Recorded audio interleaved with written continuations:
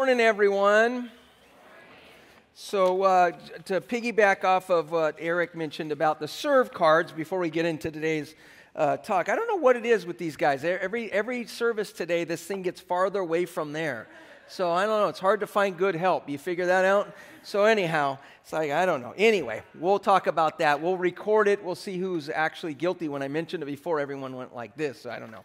All right. So, uh, in front of you, hopefully around you in a seat pocket, is a serve card. I mentioned this last week. Um, I know that school is out, the public schools are out, and so attendance is a little bit down from that, but we have, uh, have got a lot of new folks coming to church, and so we want to invite them to be a part of the service uh, and, and the serve team. And so, if there's some areas on the back that you are interested in, um, please let us know. We'd be happy to help you out. Most of the areas of serving in our church is once a month. There are a few things that are more often than that, but primarily that's it. Um, I'm not, the, if you're new here, I'm not the kind of the pastor that complains every Sunday about how we need more and more and more. I don't, I don't do that. But when there is a, a need and when there are some areas that have holes in it, I want to point it out so that we can jump into that. All right? So do pray about that. And then last week I mentioned um, the handouts from last week, which is a beige piece of paper in the lobby on the way out. It says, My Identity in Christ. We'll talk a little bit about that today. Um, and then also the gold sheet uh, about who I am in Christ as well. And so we ran out last week, so we made more of them. If you want them, you're certainly welcome to, to take them on the way out, and we'll talk about that. All right? So, y'all ready? All right, you want the long version or the short version? Short. Okay, that's right. Someone says 1:30 of the game's on. I don't know what game it is, but it doesn't matter. Is there a game at 120 or 125? Huh? The who? I, I thought high school teams played on Friday night. yeah, all right. All right. Good morning, everybody. So we're in part two of, of a wounded, and actually part three, but uh, part two of the thought process, all right? So the wounds that we're talking about in the series aren't wounds that you have stitches or something from an accident or something like that. We're talking about wounds that are inside of us. And the reality is, the wounds on the inside of us are much more complicated and much more difficult to find healing in our life than the wounds on the outside. And so the series, week number one, two weeks ago, we talked about words words that we say to ourselves and words that others say to us, and how that gets us in a mindset which kind of leads into last week and this week, which is our thought process and how kind of astray we can go on our thought process. Now, I'm guessing that all of you, just looking out here, you guys are by far the best looking 11 o'clock service I preached at today. Um, you guys have no struggles with your thoughts, right? In fact, what God is going to do is He's going to use it uh, in your life to minister to somebody else. Okay? Now look to the person on your left, because that might be the person, or the right, right? So all of us have thoughts that go into the ditch. And people will say, you know, they'll struggle with it and they'll, they're believers and they wrestle with, you know, how come I'm having these thoughts and where are they coming from? And we just wrestle with it in our life. And so, how do we overcome them and how do we make the changes that God desires for us to have? So, at the very top of your outline, and this is from last week as well, is you'll hear me say that it goes thoughts, feelings, actions. All right? So, it, as a man thinks in his heart, so is he. Uh, the heart is the wellspring of your life. What's in you is what comes out of you. And so everything starts as a thought, and then it develops into an emotion or a feeling in our life, and then ultimately an action in our life. And so if you're wrestling with a, uh, with a habit to overcome, most places will talk about the habit, about not the restaurant, but about stopping. You need to stop, you need to start, you need to you know, hide it, whatever. And they're talking about the, the issue. You got a drinking problem, we need to hide the booze. Well, actually, that's not the issue. The issue is your thoughts, because it's what your thoughts are that leads to feelings that ultimately reveal itself in an action. All right, and so for many people trying to break um, uh, strongholds in their life, is they got to figure out their thought process and the lie that they believe that's leading them to that action. And so the thought process that we have in our life is ginormous because it affects every area of our life. And so I used this illustration last week. All of us have two dogs, okay? Now you may not have known you had a dog coming in today, but you have two dogs. If you're a believer in Jesus Christ, you have two dogs. You have your old nature dog, yap, yap, yap, and you got your new nature dog, and that is your spiritual dog, okay? Now, the dog that you feed is the dog that wins. So when we think about our thoughts, and you think about your thoughts, is it thoughts that are honoring to God? Do we have the mind of Christ, like Scripture says? Or are our thoughts not going in the direction of the Lord? Because that dog is the dog that you're feeding. All right, are y'all with me? All right.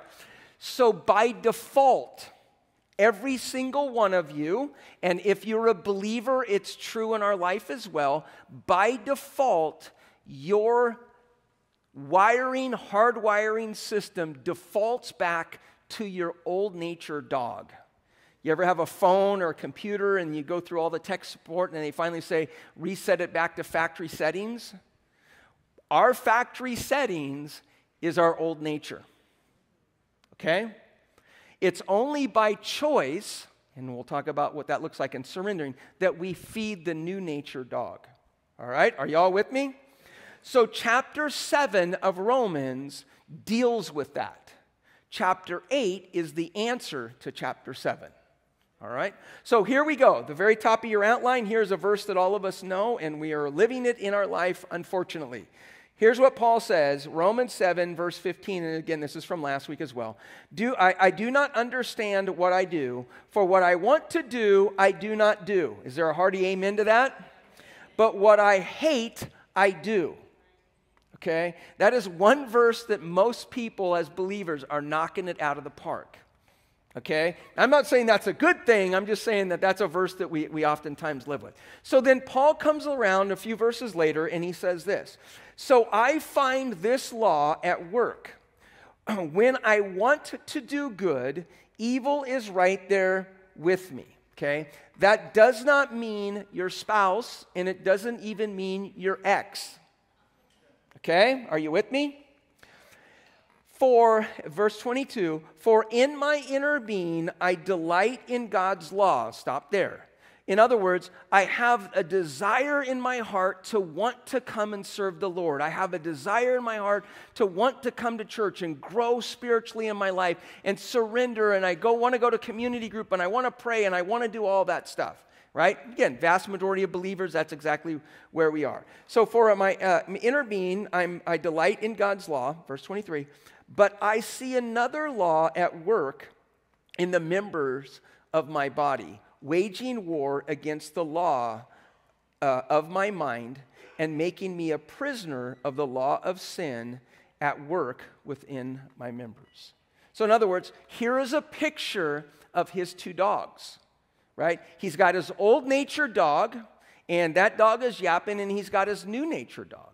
And he's have, he has this conflict that he's wrestling with in, uh, inside of him as he's wrestling back and forth. And so in chapter 7, he lays out seven different weapons of destruction, and they are primarily in our mind. And so, again, we covered them last week. I'm just going to read through them quickly here.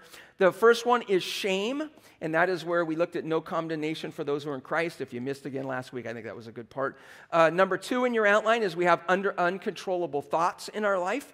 Uh, three is we have inner desires. You know, some would say habits, some would say things that we're compelled to do. Uh, number four in your outline is fear. Uh, number uh, five in your outline is hopelessness. Number six in your outline is bitterness. And then number seven in your outline that he addresses from chapter seven is insecurity. So then Paul wraps up chapter seven, and here's what he says What a wretched man, right? Or modern translation, what a hot mess I am. Okay? And then the bold word is what word? Who? Okay? This is true in the life of believers. Oftentimes, when you look at those seven destruction, weapons of destruction, shame, insecurity, right, all those different ones, oftentimes people try to solve it with a what, not a who. And so when you think about insecurity, well, I feel insecure about myself, and so I need to go out and get a what? I need to get a better job. I need to get more pay. I need to get a degree. I need to get married. I need to get divorced. I need to get this. I need to buy a new outfit. And it's all what's. And you go through those lists, and you can think through them in your life or certainly other people's lives as well. And it's all about a what? I got uncontrollable thoughts. I got to do something that's going to calm me down. Well, what are you going to take? And it's a what. And Paul says the answer to that is a who. It is Jesus Christ living in you, right? It is not a what, it is a who. So he says, Who will rescue me from this body of, de- uh, of death? Verse 25. Thanks be to God through Jesus Christ our Lord. So then, I myself, in my mind, am a slave to God's law.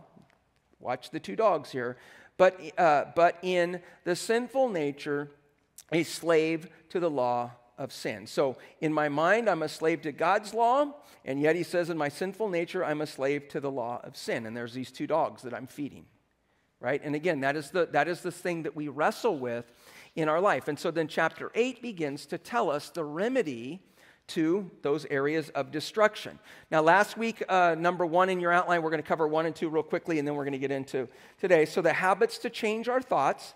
Number one, we looked at is that I must think daily on what Jesus did for me, and that's Romans 8 1, where it says that there's no condemnation for those who are in Christ.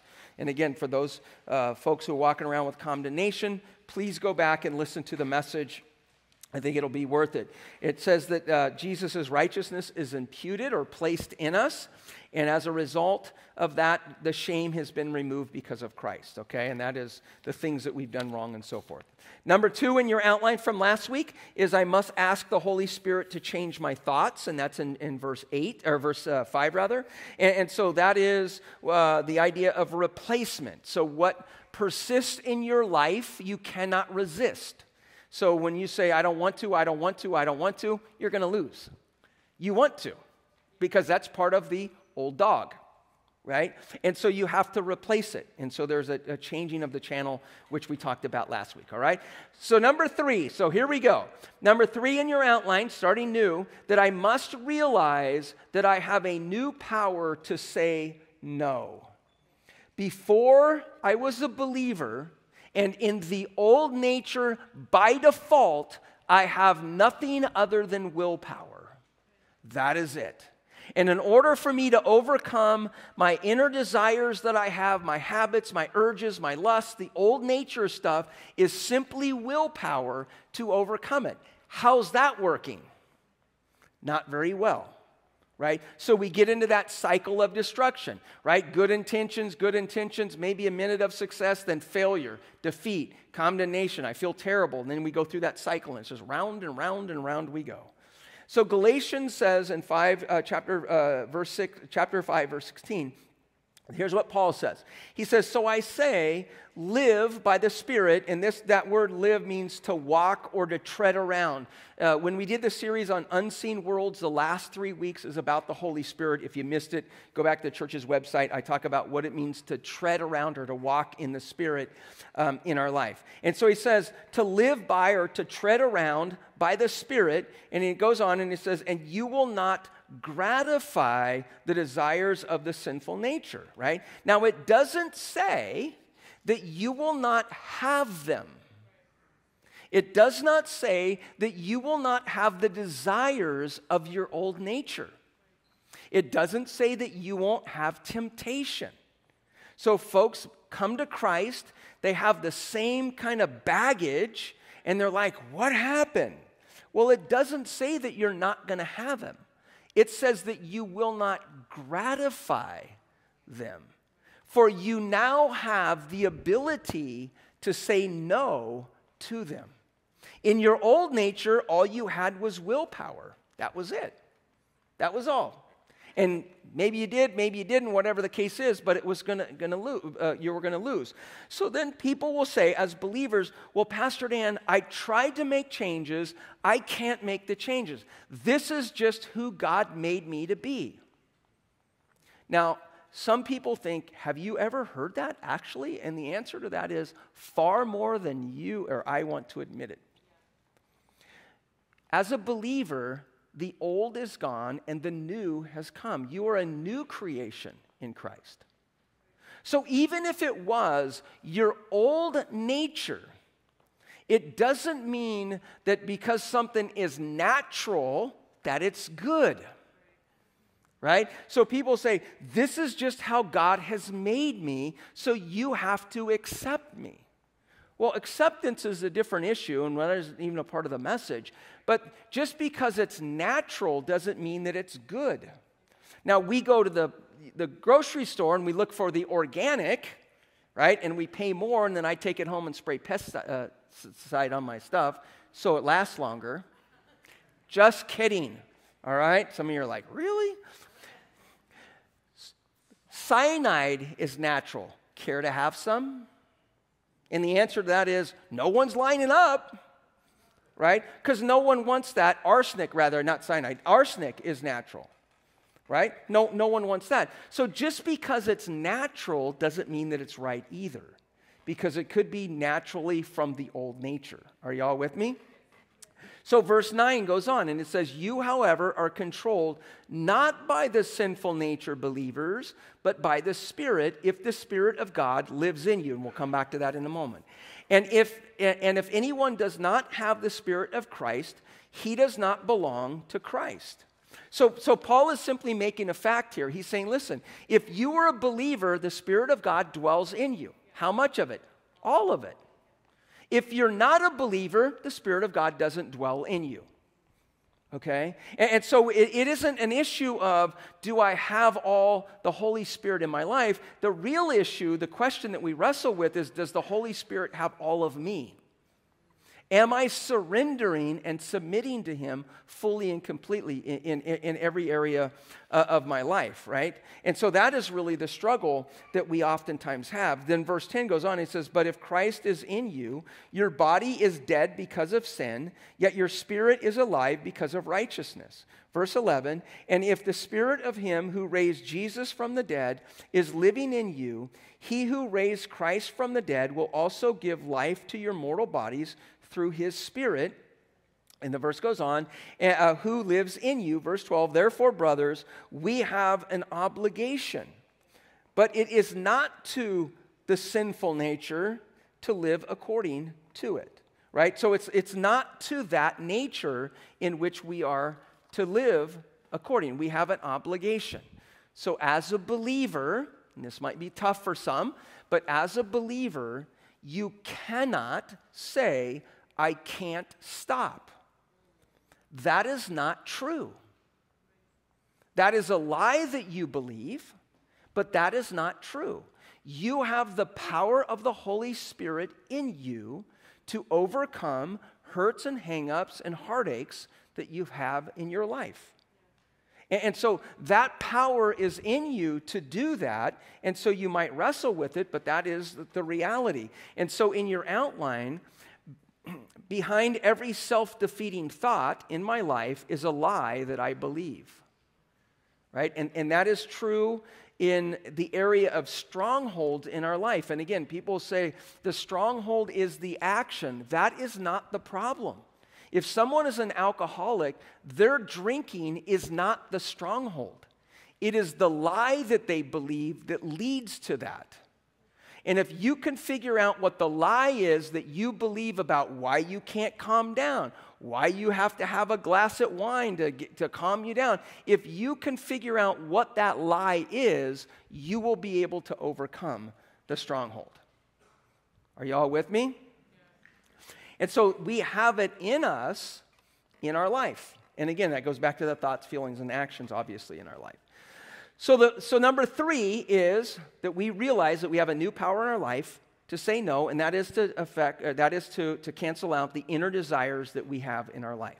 Number four in your outline is I must turn my thoughts toward God whenever I am afraid. I must turn my thoughts toward God whenever I am afraid. And so in verse 14, he goes on and he says, But those who are led by the Spirit are sons of God.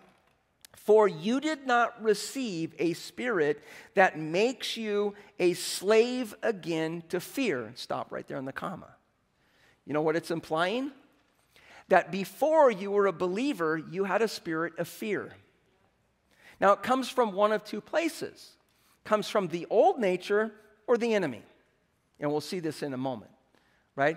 So, in our old nature, we have a spirit of fear in our life. And when you have that fear in your life, if that is the dog that you're feeding, that fear will continue to grow.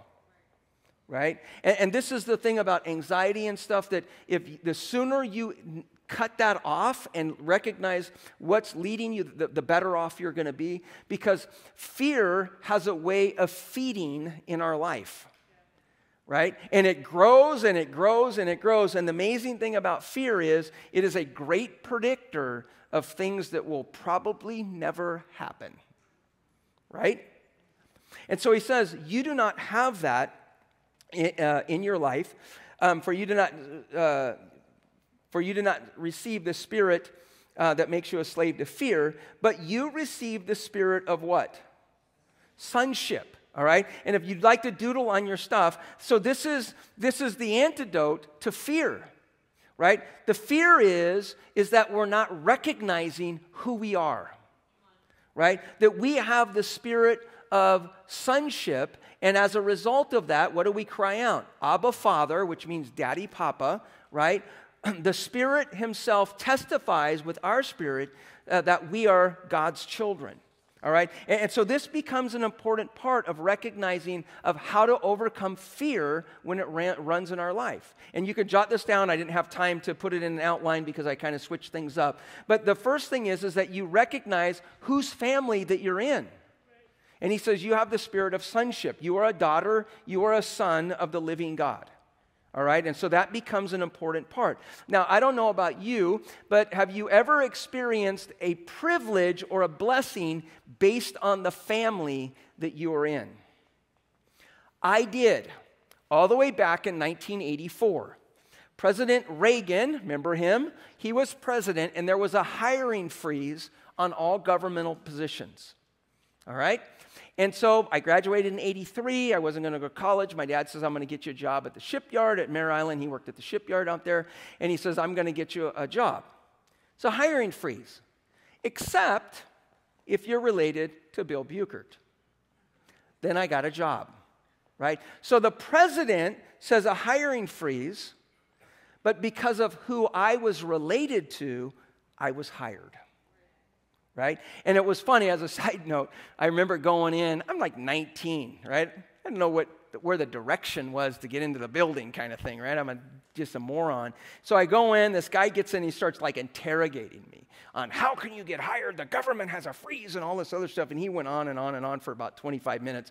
So I, I finally left and I walked and called my dad. And I said, hey, this guy, I don't know what's going on. So my dad sent like five guys in a golf cart with different colors. If you know anything about the government, the color of your helmet is a big deal.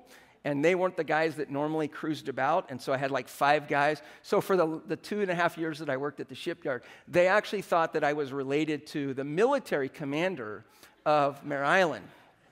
I wasn't. But my dad, I told my dad, I said, they all think that I'm related to so and so. And he goes, don't tell them otherwise. So for the longest time, they thought that. They would even ask me, like, they're like, Have you ever been into his, in his house? And I'm like, Yeah. And actually, I had. And I said, Yeah, you walk in, there's a library to the side. You go down, there's a kitchen. And I, you know, I described the house. They're like, You are related to him. And I'm like, I just smiled. I didn't, I wasn't a believer, so what difference did it make, right? Plus, it's the government, right? So I learned a couple things. One, if the president says something, means nothing, right? But I did experience the privilege of that. Now, just pause for a moment. I am the son of Bill Buchert. But even greater than that, I am the son of the living God. Right? And you are, as a believer as well, the son or the daughter of the living God. Not the shipyard, but the one who spoke the world into, into an existence. Right? And when we begin to recognize that, all of a sudden fear begins to shrink. Right? Because what is greater than the Lord? The answer is nothing. And so it depends on what our vision is on. If our vision is on the fear issue, then it's going to overwhelm us. It's going to eat our lunch. But if it's on who God is, it changes everything. So I threw in Colossians chapter 1 verse 15, not going to read it all, but it basically says God spoke the world into existence and with a single word Jesus holds everything in, in, in control. Right? With a word. And that person has reached down from heaven in his grace and his mercy and asked you to be a part of his family. Not the Buchert family, God's family right? And I think when we begin to kind of recognize that and internalize it, I think it radically changes. Then Paul writes to Timothy in 2 Timothy, and he says, For God did not give us, and so right above that I wrote, then who did? So God did not give us the spirit of timidity or fear. Who did? Your old nature and the enemy, right? But he says, But God gave us a spirit of power, love, and of self discipline right? So that is the spirit that God gives us. And so you can jot this down. When I am mastered by the master, I can master anything. And that's Philippians 4. I can do all things through Christ who strengthens me. The condition is he's the master of your life. So I when I am mastered by the master, I can do all things, right? I can master anything because of who he is. Amen. So verse 18 goes on or 17 rather, goes on and it says, Now we um, are children, then we are heirs and uh, heirs with God and co heirs with Christ, if indeed we share in his suffering, in order that we might also share in his glory. Number five in your outline, the fifth one that we overcome hopelessness is that we remind ourselves that God is good and that God is in control.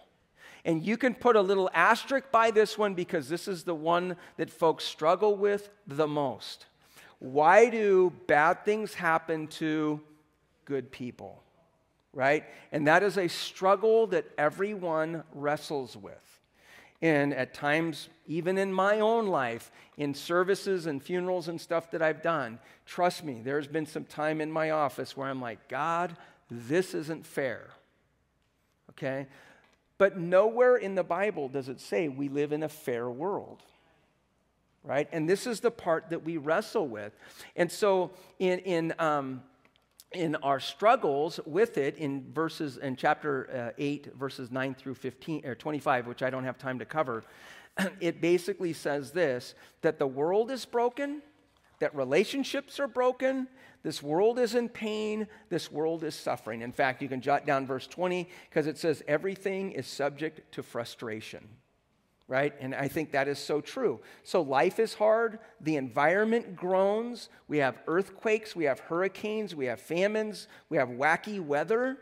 And that is because in chapter 1 and 2 of Genesis, God's perfect plan was in chapter 3, sin entered the world, and because of that, we live in a broken world.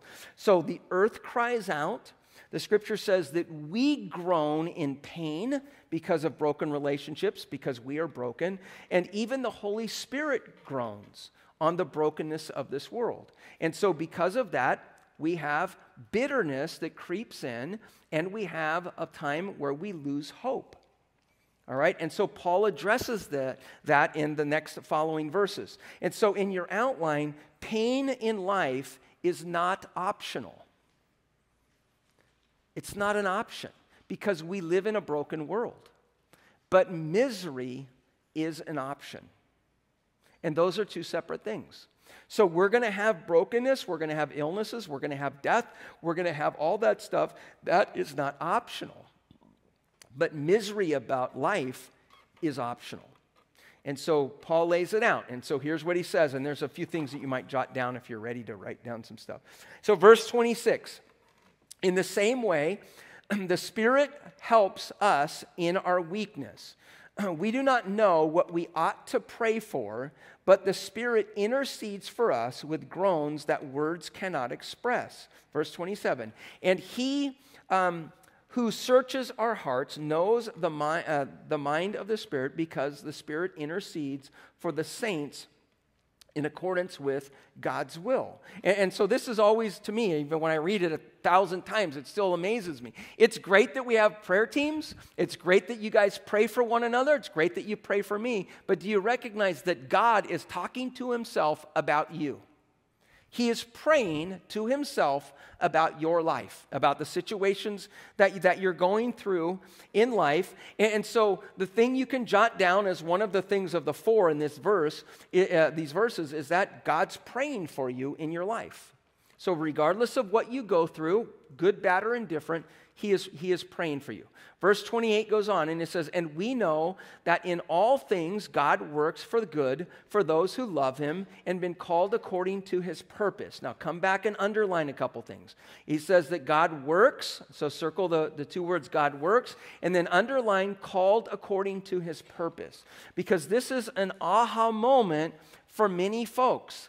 And, and you can just jot down the note that God's promise is all things work together for good. Okay? Now pause. Are all things good? No.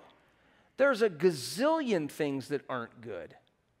But that isn't the promise that we will not experience them. The promise is that God is going to take our experiences and turn them good. Okay? And here is how it works. And if I could ever just do a book on this, I would. And that is when we begin to use it for His purpose, good comes out of it.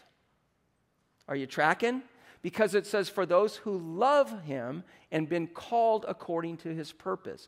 All of us are to be the salt and light in a world that desperately needs hope.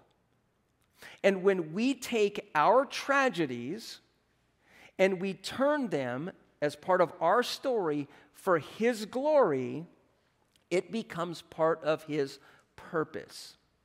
So, a couple things. When I began to share my struggles and my heartaches, it is a sign that God is healing me in my life.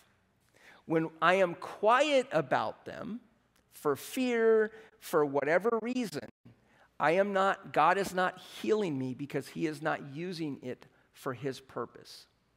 Are you tracking? Right? So you have to use it for His purpose, and that is to share your story, good, bad, and indifferent, for Him to be honored and glorified. So here's the question Pastor Dan, this has happened to me. And I know that I need to forgive them the Bible says instantly I'm to forgive him, but it's a work in progress. How do I share that story? Because it sounds like I'm still struggling. And so as a result, the person doesn't say anything.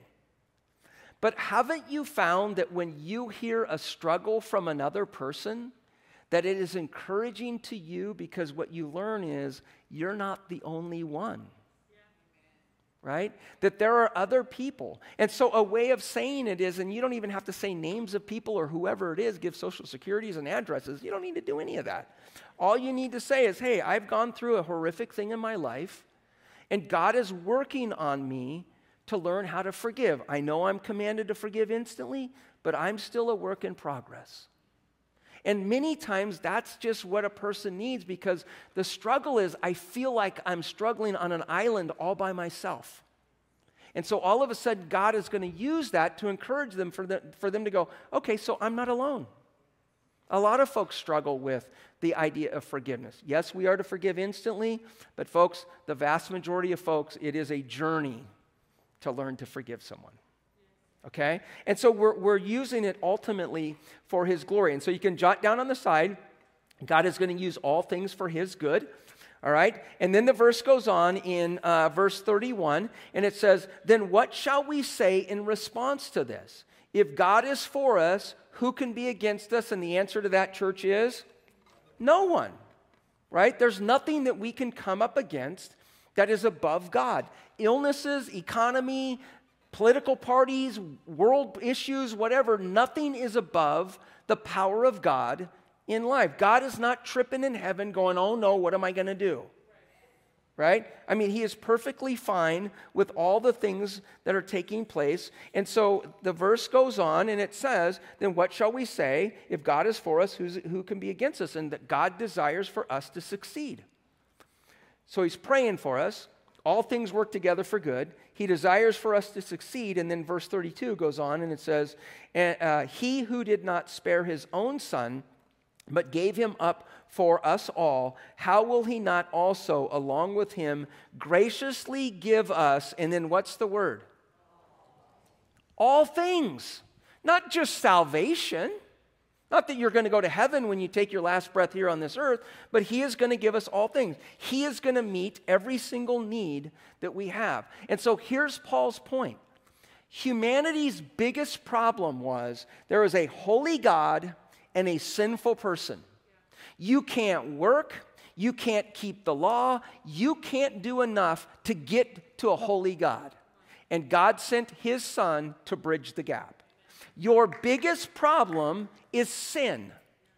God met that problem in your life. Now, what are the other issues that you're wrestling with? Job, finances, economy, political environments, blah, blah, blah, whatever they are. Is God not above them? That, that's his point. If he'll take care of your biggest issue, will he not also take care of the issues that you wrestle with just on a regular basis? And the answer to that, of, of course he will. Of course he'll intervene. And so we're reminded in moments of hopelessness that we're reminded that God is good and that God is ultimately in control. And then the last one in your outline, number six, deals with, uh, with insecurity. And it's this I will remember that God will never stop loving me. People may walk out on your life. People may turn their back on you. People may say horrific things to you. But God will never walk away. We love, brutally honest, we love based on condition. You do, I'll love you. You don't, we got a problem. We'll look at this next week.